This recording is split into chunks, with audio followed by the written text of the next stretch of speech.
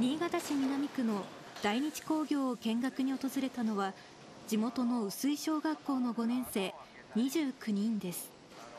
社会科の授業で日本の工業について学んでいて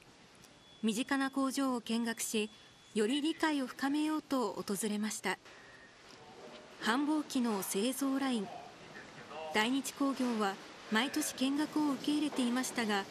新型コロナの影響で中断し4年ぶりの開催です。教科書で